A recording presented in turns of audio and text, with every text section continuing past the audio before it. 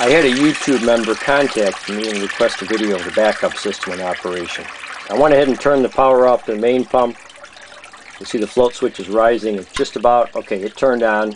So we're now simulating failure of the main pump. Float switch on the right is set at a slightly higher level. That's the submersible backup pump.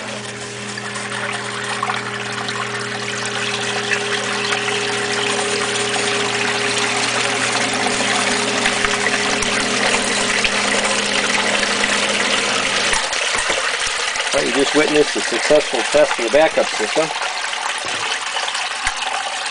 To go ahead and put power back on the main pump.